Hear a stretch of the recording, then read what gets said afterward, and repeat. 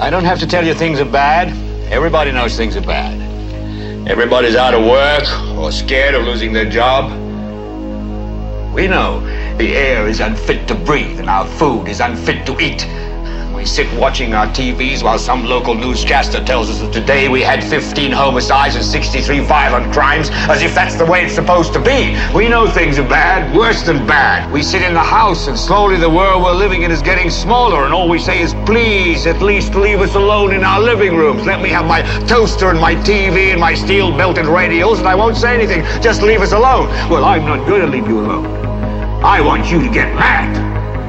I don't want you to protest. I don't want you to riot. I don't want you to write to your congressman because I wouldn't know what to tell you to write. All I know is that first, you've got to get mad. You've got to say, I'm a human being. God damn it. My life has value.